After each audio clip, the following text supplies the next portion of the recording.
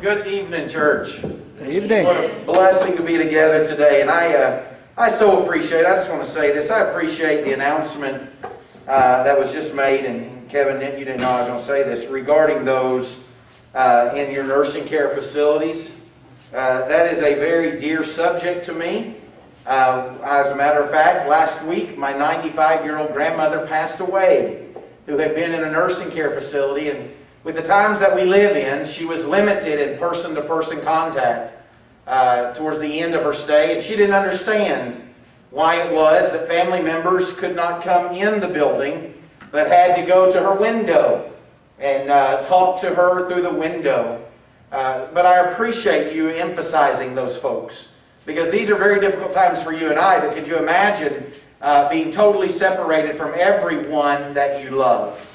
And that oftentimes is what happens in those nursing care facilities. As a matter of fact, on Facebook this afternoon, I, I turned it on just to look and kind of see what all I was missing. And there's a congregation down in Leoma, Tennessee, who had uh, gathered a group of people, Christians there from the congregation, and they had gone to a nursing care facility, and outside of the window, one of the, the members' relatives was there. They had songbooks.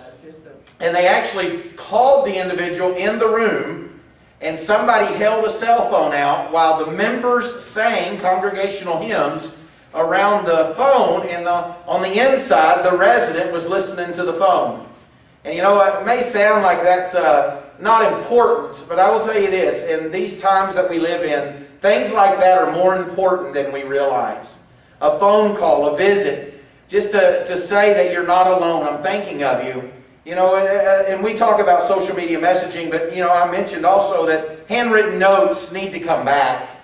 And that might be just the spark that somebody needs that day to encourage them. So thank you for making that announcement. I know this good congregation uh, obviously is aware of the needs of all individuals uh, in this congregation as well as those who are in the nursing homes who cannot attend. So I, I, I appreciate that. This evening, we're going to pick up with our series, and I want to begin tonight uh, with a concept. And that concept is uh, wrapped up in the way that you view your family. You see, there are individuals in our world today that, that view their families much like a NASCAR pit stop. I don't know how many of you are NASCAR fans. I assume none of you are. Uh, but, again, you believe in the world, there are some people who are NASCAR fans, right? They love those left turns. If you were to ask them to make a right, they would be confused as to what to do. However, NASCAR pit stops have always been something that I have been intrigued by. And the reason I've been intrigued is because that car pulls up going so fast and comes to an immediate stop right where it's supposed to come to.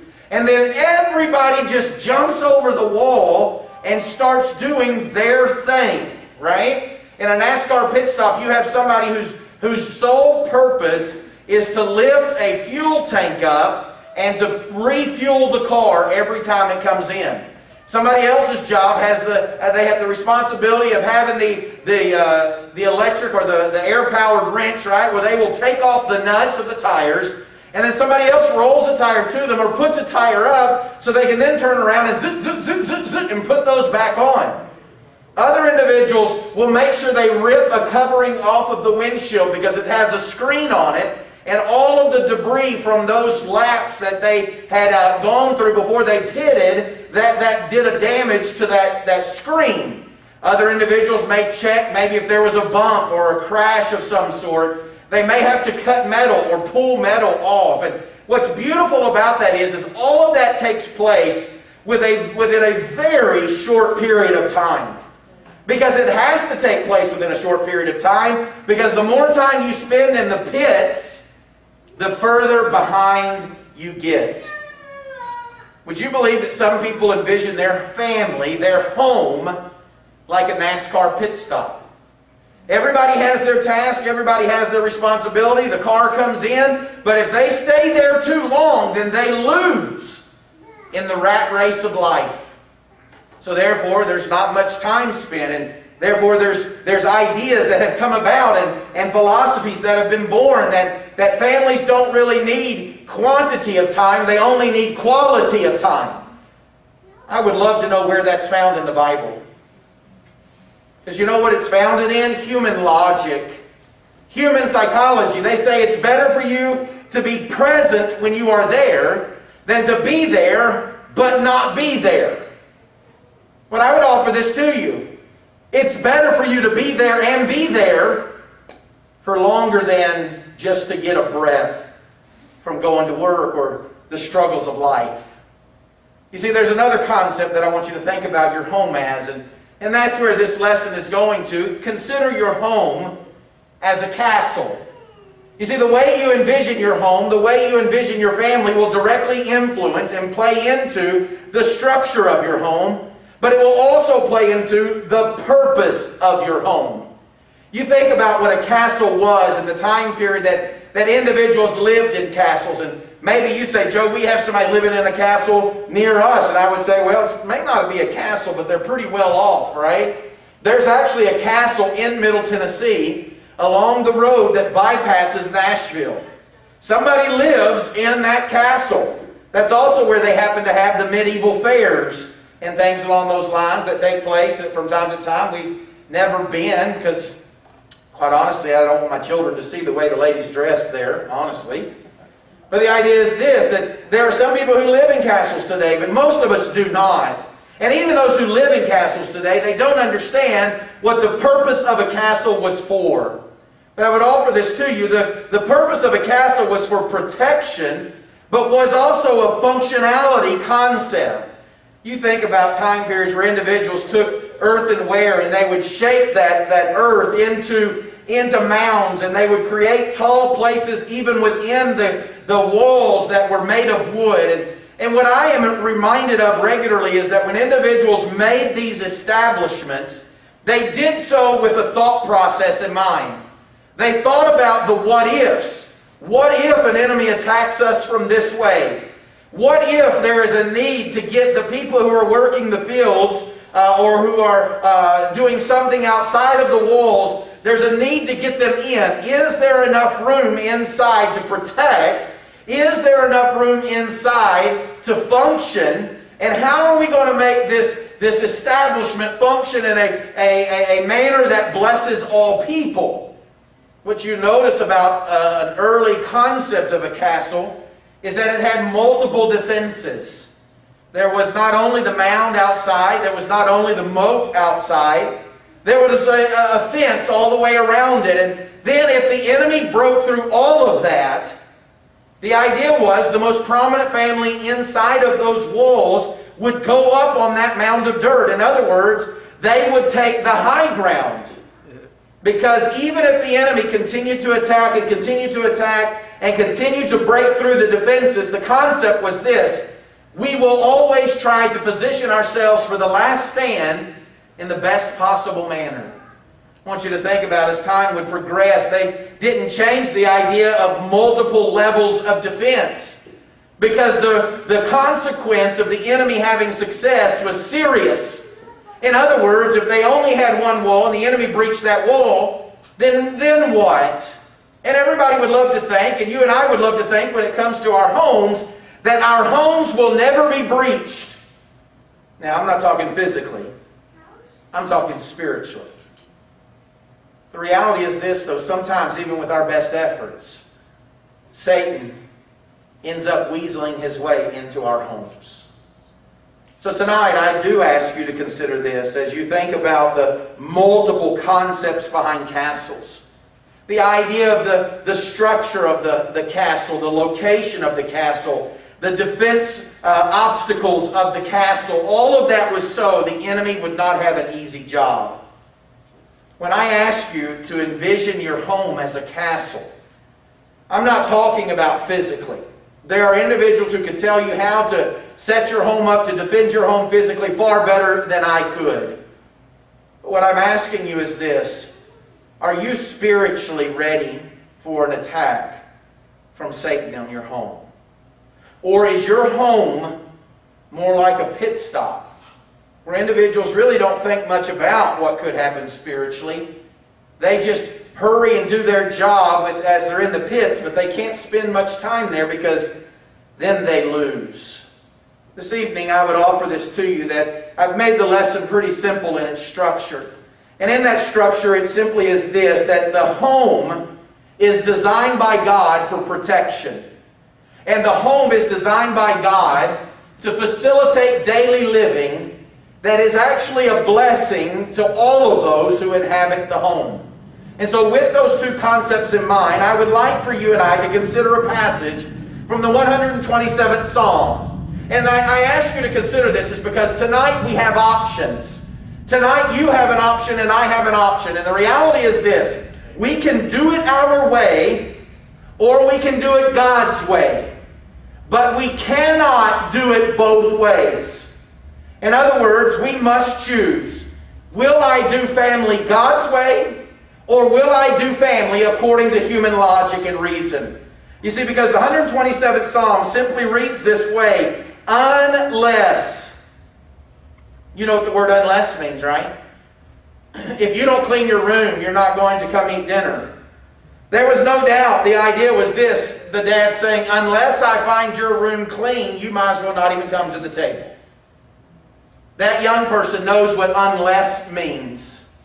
Unless you brush your teeth, you and I are going to have problems. That person understands what unless means. The wife looks at the husband, unless you stop seeing her, I'm leaving. Everybody understands what unless means. So let's allow that, that severity, that finality to be read into this text as well. Unless the Lord builds the house, they labor in vain who build it. Unless the Lord guards the city, the watchman keeps awake in vain.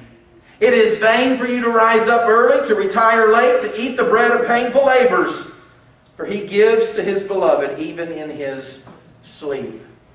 I find it quite interesting. The idea is this that there's an option tonight.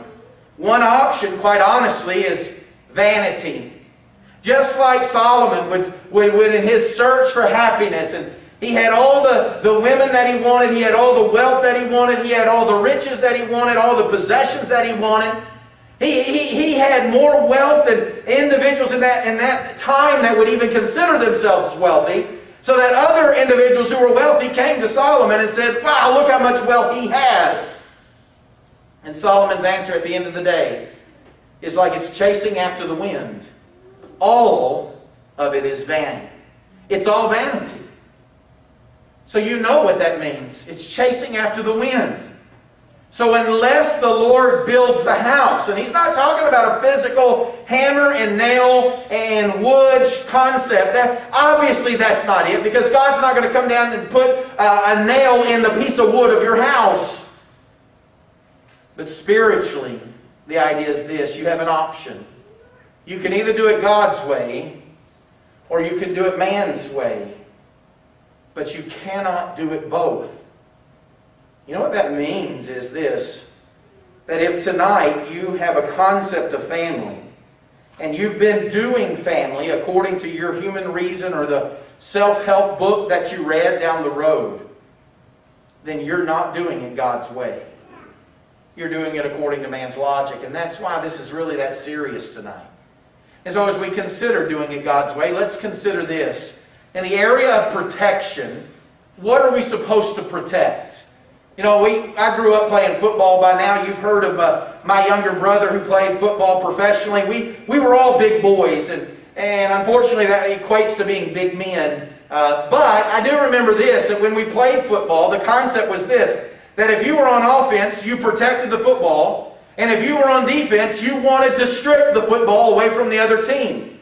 And if the football was on the ground, that's when everybody dove on it, yelling, "Ball, ball, ball, ball!" You know why? Because whoever has the football has the chance to advance the football.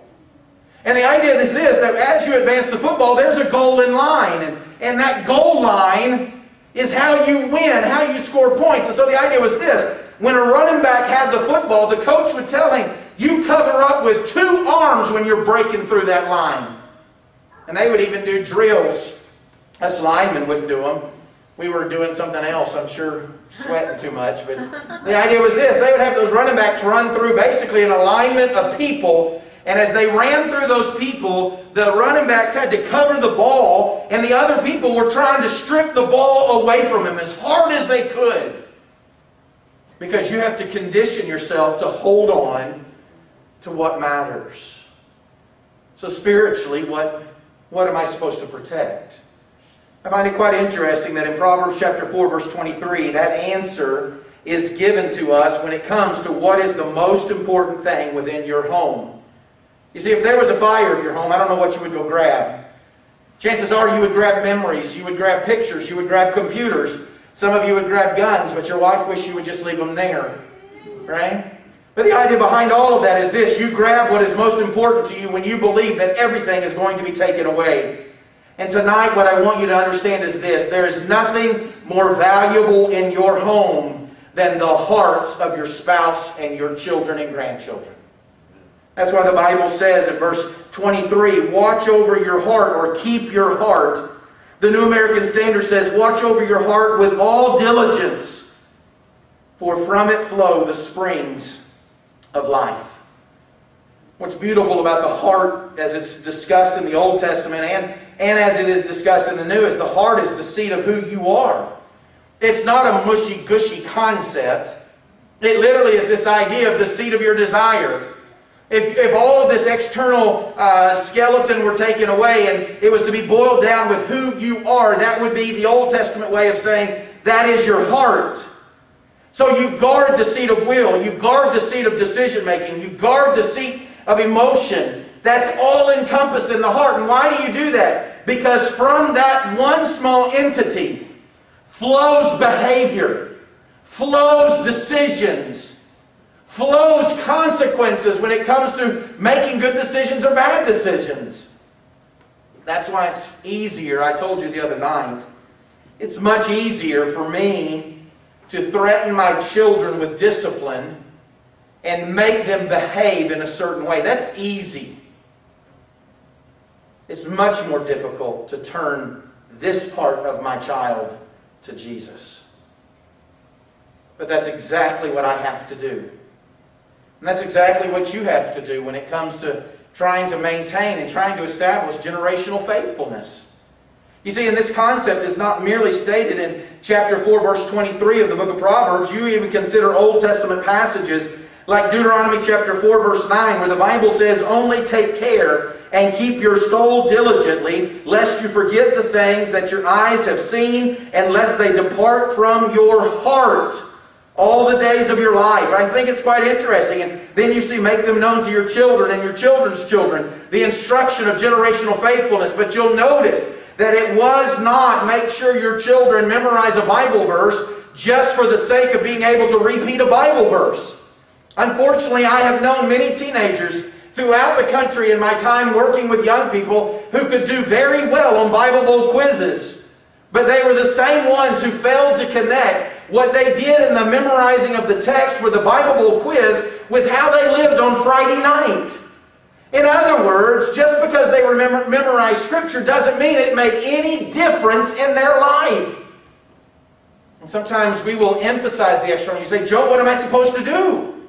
I mean, obviously, I want my children's faith to grow, and faith comes by hearing, and hearing by the Word of God, hearing by the Word of Christ. I want my children to, I do too. But it's got to be more than a mental exercise.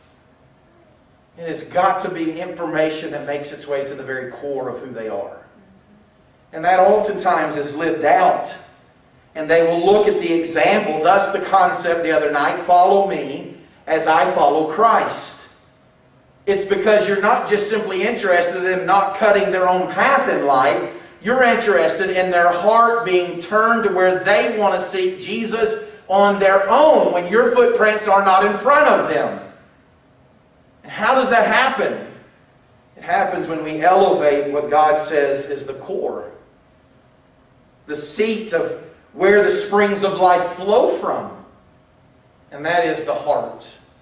It's not just in Deuteronomy chapter 4 there in that particular passage, but Moses here will go again in Deuteronomy chapter 4, verse 39 when he continues this concept. And notice what he elevates and where the Word of God is supposed to be. Verse 39 Know therefore today and take it to your heart that the Lord, He is God in heaven above and on earth below, and there is no other. I find it quite interesting that over and over again throughout the Old Testament we find an emphasis on the heart. But I would also offer this to you. It's not merely in the Old Testament. That's because this isn't locked to an Old Covenant concept.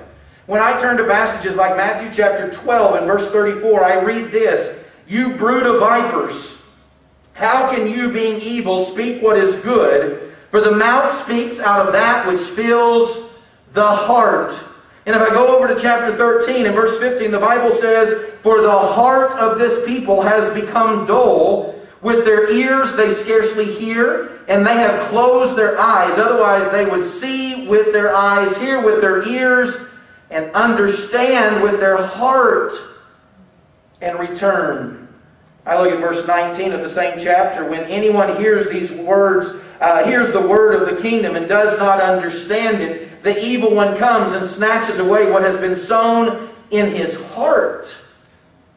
This is the one on whom seed was sown beside the road. I continue in chapter 15 and verse 8, and I begin to understand all too quickly that there's a continuation of this theme. Verse 8 This people honors me with their lips, but their heart is far away from me. If I look over verses 18 and 19, it's very evident that the behavior that I see comes forth from the heart. Therefore, if I want my, my children to act in a certain way, I cannot merely deal with the externals. I have got to deal with the source of the behavior. The Bible says in verse 18, But the things that proceed out of the mouth come from the heart, and those defile the man. For out of the heart come evil thoughts, murders, adulteries, fornications, thefts, false witness, slanders. These are the things which defile the man. But to eat with unwashed hands does not defile the man. And that needs to be reminded today of our political officials. But the idea behind that is this that when you and I really stop to think about the heart and the thrust that is placed and the importance that is placed upon the heart, we look at passages like Matthew chapter 22 and verse 37, where the Bible says, And he said to him, You shall love the Lord your God with all your heart, and with all your soul, and with all your mind. Why is it that I tell you that when you envision your home as a castle, that you identify what is the most important thing to keep? Like a football team will envision the football as the most important thing to protect right? Some individuals may say that's our rally point, that's our, that's our flag, and military operations may say this, that if all else fails, all these other defenses that we have had, if they fall, one place that must not fall is this. Because if this line breaks, then the game is over. We lose the battle. And so they will say this, keep falling back. You defend that point, but if you need to fall back, then you fall back. But this line, there is no falling back. I think it's quite interesting that in the Bible, the heart is identified as that which is most important within your home. The heart of your spouse, ladies. Let me ask you a question. Do you want to protect the heart of your husband? I know you do. Then I would encourage you to do this, ladies. Make sure you're intentional about protecting the hearts of your husbands. Do not go along with things that are going to allow him to, to be drawn away from you and to be drawn away from God. Do not go along with the idea that we're going to sit down together as a family and we're going to watch things that we, we should not watch. I mean, ladies, let me ask you a serious question. How many of you would love your husband to line up to watch a woman who is not dressed appropriately or not at all do things that she should not be doing on television? And you would all say this I don't want my husband to see that. But you know, sometimes you're afraid to tell your husband that. Sometimes you're afraid to tell your husband that, that you don't want him to look at somebody else. That you want his eyes only to be for you. You know why I say that is because you have a responsibility to protect the heart of your husband. Man, you have a, a responsibility to protect the hearts of your spouse, your wife. You don't want her to be so, uh, such, such an emotional draw because there's a need that is there that she opens up to the, the first guy who tells her that her hair looks nice. Or, or that she begins to entrust herself to the first man who will listen to her. Because that's how affairs oftentimes happen. For men, they're physical. For women, they're emotional. You want to guard the heart of your spouse, then you better listen to her. She needs you to be more than just someone who brings home a check. She needs you to guard her heart. Parents, our responsibility is to guard the hearts of our children, and I will tell you this you better be intentional. In our home, I've already mentioned to you that we do not have television. Now, we have a TV, but we choose what to stream over that TV. But we also have on all of our devices what is called Covenant Eyes. Covenant Eyes is an internet filter that is uh, meant to, to offer accountability uh, if individuals are struggling with pornography. Now, in our family, to my knowledge, since we started doing this, and we started doing this at a very early age for my children, none of us have ever had a report that would demonstrate a struggle with pornography. We have it on our devices because I want to protect my family. I don't want my wife to have to worry about what I'm looking at. And I don't want to have to worry if she were to go after anything. The reality is this, we don't believe it will happen, but if we, if we are lackadaisical in our approach, that's when Satan has a heyday. So we have covenant eyes. This device has covenant eyes on it. It is the internet filter. It is the, the search engine that I have. And as a matter of fact, they recently came out with screen uh, recording so that in the reports that I get every month for every one of the devices that my children have or they look at, or my own or my wife's, and she sees it as well, we can actually see screenshots of what they looked at, or what I looked at, or what she looked at. And it comes in a report. You say, Joe, why would I do that? Here's why I would do that. I try, Erin and I try to guard the hearts because we know when that door is open that it's hard to shut it. Oh, one of our little boys um, get out on YouTube on a device one day before the, the screen accountability was on, but it had covenant eyes.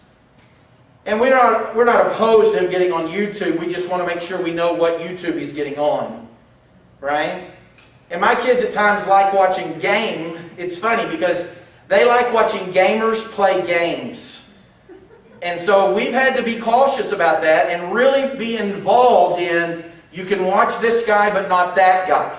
You can watch this game but not that game. And if we ever see it, then there's going to be a conversation, right? We live in a day and time. My older two kids know that if they ever get on anything, then dad gets a report.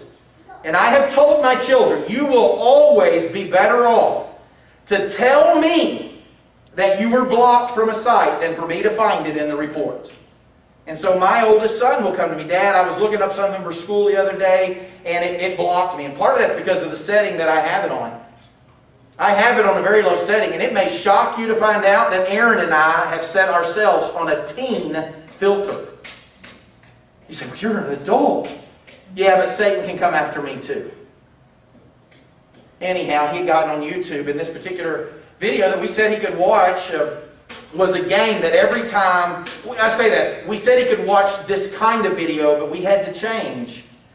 Because there was a, a guy and a girl who were the video gamers, and they were videoing themselves as they were videoing the game. And every time the guy who was playing did something well, the woman took off some garments. I found that out on the report.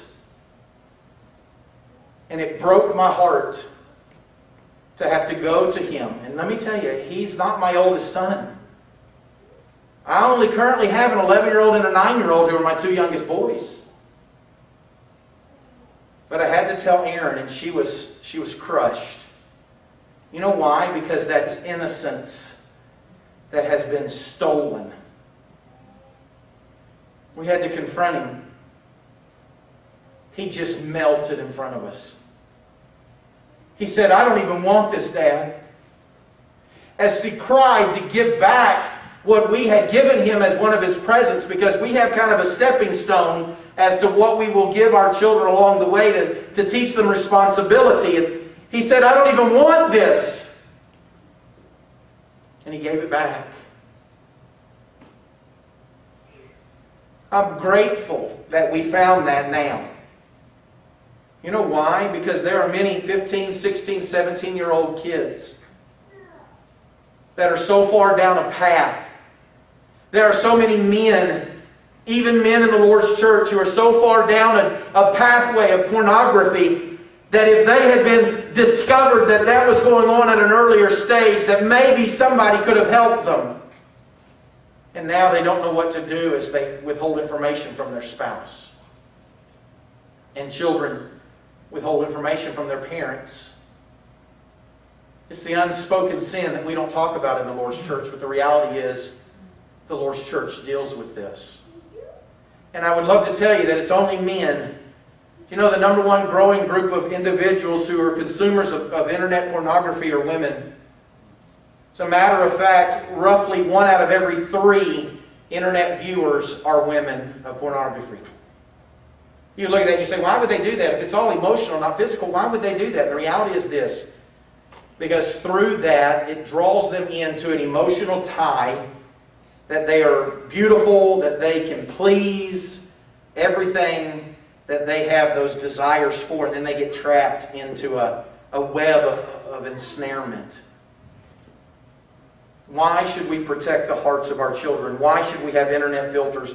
Why is it that maybe some of us need to go home and change our television subscriptions? Why is it that we would even think that Satan would not come through the biggest window and opening in our castle, which is our media habits? You know why we don't think that? Because we don't believe that Satan's really active. You know how many of us, we, we would say we do, but you know how many of us picture Satan? He's still wearing sandals and a toga walking around on a dirt road. And the reality is this Satan has not forgotten what year it is and the technological advances. Do you really believe Satan doesn't know how to get people today? I know that you do. So, how about this? As you pay attention to the protection aspect of this lesson, why don't you allow for some honest evaluation of whether or not your castle has multiple layers of defense to protect. Because I will tell you this, even with the best efforts, even with the best efforts, Satan can still weasel his way through a crack in the wall. We changed. No doubt we changed after that. But you know what? I wish it didn't have to have that in order to make us change. Some people will say we're weird and me even telling you the things that I'm telling you, you may think I'm weird, and I'm okay with that. As last I checked in the Bible, the Bible says that we're to be holy because God is our Father, and holy doesn't mean I put on a tie and a jacket and I showed up to a church building. Holy means I choose to live differently than everybody else around me. Why? Because God is my God. And quite honestly, I will not surrender my family to Satan. Number two, I want you to think about this. If the first point is that our homes serve as a protection. I also want you to consider that in our homes it serves as a function for, to facilitate daily living that is a blessing for all people. Now, I also have to tell you this, though, that God did not make a, a mistake when He created man and woman differently. Oh, I understand. We're all in the human race and we all have a soul, but let's be honest, we are not the same. Last I checked, God did not design a male body to be able to uh, grow a child within a womb and then to deliver the child and then feed the child from the same body. That, and I don't care what surgeries are had today and how media wants to talk about it. The reality is this God did not design the XY and the XX to be the same. There's a divine difference in design, and I am grateful that there is. Because there is a perfect complement we won't go into detail. There's no reason for us to, but the bodies complement each other. And that's by God's divine design. But we're not the same even when it comes to socially. You know, when you think about the needs of man and the needs of woman, our needs, uh, sometimes they overlap and they're the same, but we might fulfill them in different ways. For some men, if they have one or two close friends in their life, that's a lot. Most men don't have more than one or two close friends. They may have a lot of associates, and some men don't even have individuals that they would say are friends. Not people that have the same hobby interest, But I'm talking about if you needed somebody to speak straight to you and into your soul, that you don't have men in your life to do that. So as you think about it from a social concept, most men are okay with one or two. And I'm okay, you know, doing my own thing. I like getting around my guys, but you know what? Ladies typically don't act in the same concept socially. Typically, it's the idea of this that we call each other. You know, we want to talk about the day and we want to talk about uh, what we're doing to get together. And ladies seem to need the idea of the social interaction a whole lot more than men do. And, and I would offer this to you that's not a negative, that's a positive. Because, ladies, let's be honest, if you didn't ask for more details, then when he comes home, you say, How was your day? And he says, It was good if you didn't ask more questions, there might not be much more conversation. And if you didn't talk to the friends, he surely wouldn't know what was going on in the world because, quite honestly, he doesn't care unless it impacts him directly. You see, we're different, and that's not a bad thing. That's a God designed thing. And I know I'm speaking in, in general, general terms. So please forgive me if you say, well, that's not me. That's not my husband. I can't get him to be quiet. Well, good for you. You right? That's a blessing. You got that guy. But the idea is this, generally speaking, this is what those are. We're not the same in the thought process. Typically, men go into a store because they are hunting an item. And when they find that item, they come out and then they will tell you how much they dislike going into said store. Ladies are said to be gatherers and not hunters. That's why in some department stores next to the ladies' dressing room, some of them are starting to put up big screen TVs and couches and they play sports on them. You know why? Not because the ladies like watching that, so that the men will sit down and watch the sports while their wives gather what they're going to try on in the dressing room. And they come out of the dressing room and they say, Well, none of these fit. I got to go looking for more. And the man just says, Would you say something? Right?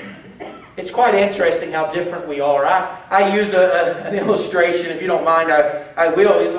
And it just really drives home the point. We're different. When ladies tend to need to go to the powder room, I'm using that term to be, you know, where I need to be. They, they go to the powder It's not uncommon. I, I've got to go to the powder room. Would anybody else like to go with me? And there will be some ladies that will go to the powder room as if it's a, like an outing, a field trip, right? Well, I'll go with you. I'll go with you. I have never been at a table where a man stood up and announced, Boys, I got to go to the powder room. Would any of you men like to go with me? I have never heard that. And we look at that and we, we, we, and I'm glad you can laugh at yourselves and we can laugh at ourselves. But here's what I want you to know. God didn't mess up when He made us different. He knew exactly what he was doing when he made Eve. You know, the first time it is said in the Bible that something was not good is Genesis chapter 2, verse 18. When the Bible says it is not good for man to be alone. That's the first time something is said to be not good. God knows exactly what he is doing. And I tell you this, we need to not let culture beat us down because we celebrate what God has done. We've got too many individuals that have bought into the lie that men and women are the same before God. And I would offer this to you. Men and women are the same when it comes to the eternal destination and the same when it comes to the blood of Jesus being offered on the cross to cleanse. But there is a divine difference between men and women. You ever notice that when Adam and Eve both ate the fruit, that their punishments were different? Oh, they were both kicked out of the garden. But have you ever noticed that for Adam, it was the idea of this, that you're going to have increased uh, uh, toil and labor, and there's going to be thorns. And what used to be easy for you to do to, to gather food for your family now is going to be more difficult. And you notice that when Eve received her punishment, it was that she was going to have increased pain in childbearing and that she would long for her husband. In other words, she would, there would be a, a submissive relationship there between she and her husband. Now, why didn't God do it the other way around? Some people would look at that and say, well, men and women are equal. So therefore, God should have given them the same punishment. And I would offer this to you. God knows exactly what He is doing. We're, we live in interesting times. We're actually on our fourth wave of feminism in America. And we live in a time period where people will say this. They will say if women choose to be stay-at-home mothers, that they are, they are uh, allowing themselves to be suppressed. Individuals who choose to be married and submit to their spouse, or a husband who chooses to, to not bash his wife in front of his friends, but to talk up about his wife, that he is whipped is our terminology. Boy, she's got you whipped. And we will use all kinds of derogatory terms when it comes to individuals trying to be what God would have them to be. And I want you to hear me say this. In the Old Testament time period, the Jewish woman was elevated. And she was elevated because the pagan women used to look at the way God's covenant people treated their women in their, in their relationships, and they longed to be that. It did not mean that the women in the Jewish religion ever stepped above or that they were supposed to step outside of the lines that God had intended for Jewish wives and mothers to be. But it just showed you how much more desirable it was to have a loving relationship where you could tell that both were seeking the fulfillment of one another than what they experienced in the pagan world. You and I live in times where individuals will say, well, men and women are equal. And I find it quite interesting, and I'll be quiet on this after this one. America doesn't believe men and women are equal. And I'll tell you why. Number one, if a husband decides he doesn't want the, the baby, the husband cannot kill the baby. Only the woman can go kill the baby. Men and women are not equal. But we're not equal in this fact either. Do you know we have what is called a draft in America to serve in the military? And there's been talk amongst some political elites that if we're going to say that men and women are equal in America, then at the time that every one of my sons has to register for the draft, that my daughter also should have to register for the draft. Do you know that women don't have to register for the draft in America today? But men do. And I don't believe that's going to be changed anytime soon. You know why? Because we as a, as a nation still cannot stomach forcing young women to go into the military. But we don't have a problem with them volunteering, which if they want to volunteer, that's, that's fine. But my question is this, if we really believe men and women are equal, why do we not force them to enter into the draft? And see, when I tell you that, some of it turns your stomach because you have granddaughters I saw a precious little one-year-old daughter out here today. Is it Payson? Yes. I don't know what she's going to desire in her life. But can you imagine Payson being forced to carry 80 pounds of, of materials and to carry a machine gun into war, not because she chose to, but because she had to? You see, I believe God made men and women differently. You know that men and women don't have the same muscle mass? Do you know that men and women don't have the same, can I say this, fat mass? And that's by design by God because the female body needs what God designed the female body to need. You know that when God speaks of a man, He speaks of a man in a way that is leading his family, a way that He is actually, uh, and I want to show you this, He's guiding and He's protecting and He's providing. That's the way the Bible speaks of a, of a man within the family concept.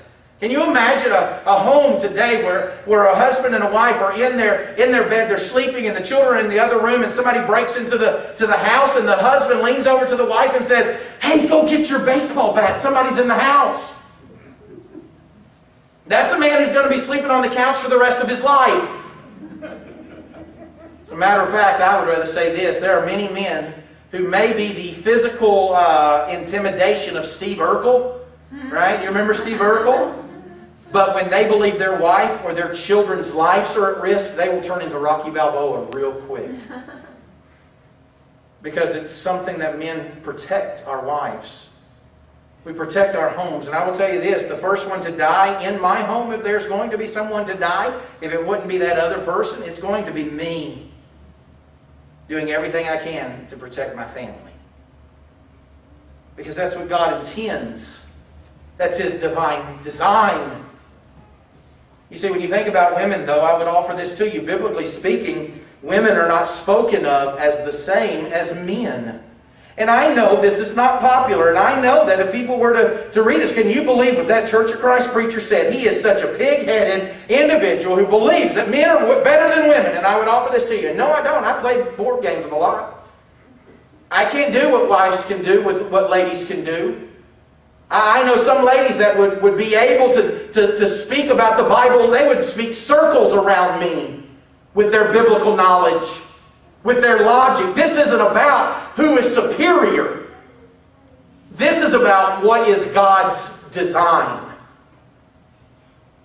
When the Bible speaks about women, I find it quite interesting that a passage like Titus chapter 2, verse 3, the Bible says, Older women likewise are to be reverent in their behavior, not malicious gossips, nor enslaved to much wine, teaching what is good, so that they may encourage the young women to love their husbands, to love their children, to be sensible, pure, workers at home, kind, being subject to their own husbands, so that, why? Why? So that the word of God will not be dishonored.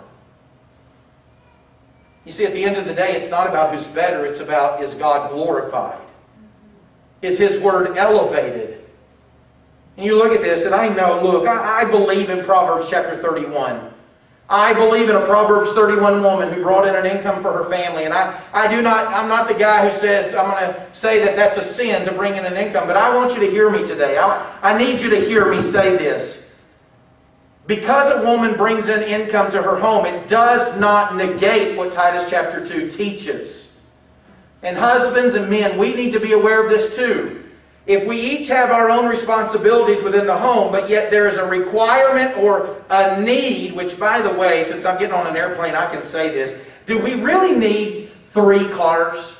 Do we really need them to be new cars? Do we really need to eat out as much as we eat out and have a mortgage as much as we do and have the internet package that we have and the phone package that we have and the cable package that we have? Because that's what we say. Well, she had to go to work. Is it possible that we live too high on the hog? You know what that means? Is it possible we live too high on the hog and that's why she had to go to work? Now, I would offer this to you. She should get in your face and tell you, what do you think working at home is not work? The reality is this. A man is designed by God to fulfill a certain role, and so is, his, so is the woman. But when the woman then has to work, men, we need to understand it doesn't take away this foundation, what it does is it compounds the amount of stress and weight that she is asked to bear. You actually could be putting more on her. You need to consider that next time you have that discussion. Because I will tell you this there is nothing dishonorable about a wife who stays home and raises the children. There is nothing dishonorable about a wife who understands what it is to be a worker at home. I find it quite interesting that the Bible says that older women, older women are to teach these younger women how to love their wives, love their children, and to be workers at home. Maybe that's where we failed. Maybe we failed from generation to generation. Because let's face it, what generation is speaking truth to the current generation of young wives today? Was it not a generation that rebelled against governmental authority? Was it not a generation that said that, you know what, we're going to rise above and not be oppressed? I find it quite interesting to study what I call the hippie movement, but some people call it the free love movement. The reality is this generations have a responsibility to generations. And we should not look at younger generations and wag our finger at them. We should look at older generations and say, were you fulfilling your God given directive as well? I never understood how a, a, wife needed to be taught how to love her children. You know, in my mind, that's just one of those things that happens, right? You bear the child, you love the child. But there's something about how do you love the husband and how do you love the child when they're not lovable. I tell you, there's more to the Bible than just did I show up to church and put money in a plate and take communion. There's a whole lot more to being a disciple. That's why even when I think about young people, I will offer this. Young people, you are not exempt from the teachings found within the Word of God. If you expect your father to be what God has called him to be, you expect your mother to be who you, your mother is called to be, then guess what? You have to bear that same understanding.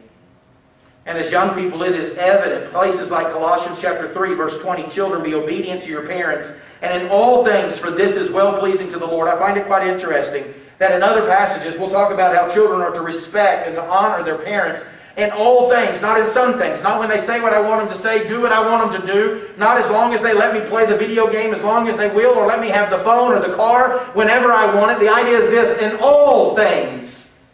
And why? Because this is honoring to God. Your dad doesn't deserve your obedience, but he's been placed in your life in a position by God, so honor God by respecting your father. Your mother doesn't deserve your, your love and obedience, but she's in a position in your life because that's where God placed her. So honor God by respecting your mother.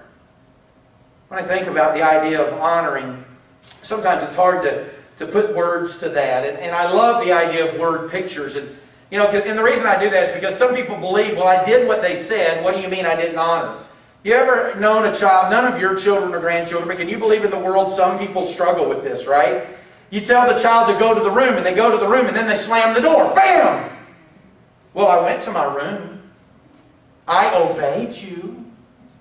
You tell the child, take the garbage out, and the whole way out to the end of the driveway, the son, can't believe that. Well, I did what you said. But the question is this, but did you honor? You see, honor is a whole other concept. And the best way that I could reveal to you, relay to you what honor means is to show you this picture. If you've ever had the chance to go to Washington, D.C., to Arlington National Cemetery, and to, to be at the Tomb of the Unknown Soldier, you understand what it means to honor. Those soldiers will prepare to enter into what is a special forces unit within the military. They will have to study the, the prominent individuals all over Arlington, and they will have to be able to tell those stories and to take a test. There's memorization that occurs over uh, uh, multiple pages, and it's my understanding that when they take their test, they not only have to be able to relay the information, they have to be able to put the punctuation exactly in the place that it was given to them in their manuals. It has been said they will spend hours dusting their boots, shining their boots, taking the lint off their jacket, shining their medals, making sure the medals are placed at the exact placement that it's supposed to be, the hat at the exact point that it is supposed to be. The gun is an active gun. That gun is a loaded weapon, but it cannot have residue. And so they will shine that gun. They said they spend hours to get ready to go spend 30 minutes walking a piece of carpet. It's 20 steps from one end of the carpet to the next because a 20 gun salute is the highest honor that we can give those who have fallen. They will pause at the end of the carpet for 20 seconds because it's the highest honor, a 20 gun salute that they can have. That gun is always between an audience and the tomb.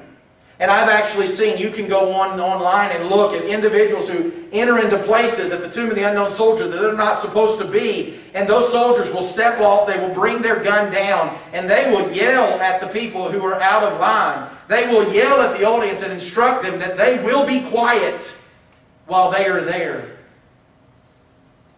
You consider all of that, and I ask you this why do they do that? Why is it year after year we lay a wreath? Why do we even have a box? Because after all, isn't that just a box? Isn't it? I mean, after all, isn't it just a box? And you and I both know the answer no, it's not. The tomb of the unknown soldier represents everyone who never came home. Everyone who is unidentifiable all of those who paid the ultimate sacrifice, yet their families never had closure. That's why there's a soldier in the old guard who, from the time of its inception, has always walked to guard. Even when you're sleeping in your bed tonight, there will be a tomb guard soldier standing his post. They've had opportunities, I don't know if you know this, they've actually had opportunities to not stand post in times of, of very bad weather but one of the things that the Tomb Guard soldiers pride themselves in is this, that they've never taken a break even when the weather was bad. And I ask you why. And the answer is because that's what honor looks like. I show you a picture here, and it's a dated picture. My children continually tell me, Dad, you need to get a new picture. And I tell them, be quiet. This is how I'm going to remember you, right? I don't want to remember you as the hairy, upper lipped teenage boy who needs to shave. I want to remember you as this guy. But I do need to get another picture. This is my wife, Erin. The oldest boy there now is uh, going to be 17 next month. His name is Colton. That's our little redheaded princess. Her name is Michaela. She's 15 now. The little redheaded boy there, he is our, he's the one that loves and he wants to make you laugh. He is the one that's always coming up saying, you need a hug. His name is Camden. And he's our jokester. The little guy there's name is Bennett. And I do believe he's tougher than nails. He will accomplish whatever he wants to accomplish. He's a very smart boy, but he's very driven. But he's also very obedient in his desire to please his mom and dad. I have been blessed with a godly wife. And I have been blessed with four healthy children. And as the leader of my family, I understand something. That a line must be drawn in the sand. And I must say what Joshua said, as for me and my house, we will serve the Lord. I must understand that a choice has to be made. Choose you this day whom you will serve. Because what I understand is this that the enemy doesn't take a break just because I get tired. Do you know that just because you want to let your guard down doesn't mean Satan's going to say, oh, okay, I'll give you a reprieve tonight? I won't come after you tonight. That's not the way Satan works. So the reality is this a line has to be drawn in the sand, and it's a hard line. But it is a declaration from the top down that in my house we will serve the Lord. That's why when my children, from time to time, my children do this, and we talk about, you know, my children sometimes get a lot of church services in. Because it may be they get three in on a Sunday and then they get one Friday night, Saturday night. Typically, I'll come in and do a Friday night, Saturday night, all day Sunday, and then we'll leave on Sunday evening. But on gospel meeting week, sometimes I come in on a Sunday and do three on a Sunday and then do Monday, Tuesday, Wednesday nights. And I would love to tell you then, typically it's that we go home and then we just get back to normal. The problem is for, for that concept, my normal is I start another gospel meeting on Sunday. So in a given week, my children will get six services, and then starting next Sunday, they pick up again. You look at Usually they say, oh, you're torturing your children. That's what they say because I'm the preacher. So from time to time, it may even happen within my home where my children would say, Dad, do we have to go? And I'll say this to them No. No, son, you don't have to go. You get to go. Now get in the car. We're leaving. right? And there's a difference between have to and get to.